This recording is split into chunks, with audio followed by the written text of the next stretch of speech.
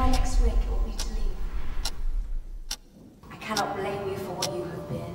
You have been prisoner of fear. You have only known how to hold on to things, and the things you have held on to have died in your hands. All I can do is whisper from a distance. It will be alright. It will be alright.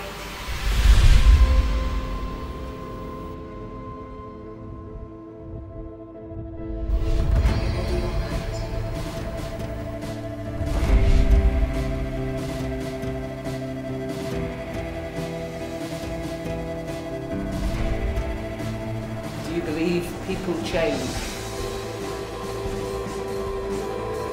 There are things you suspect.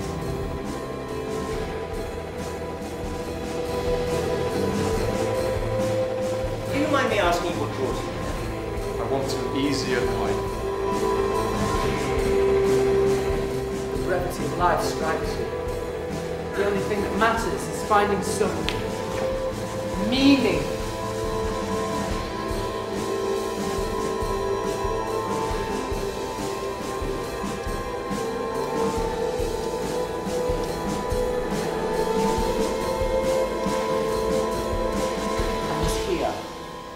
I existed. I was.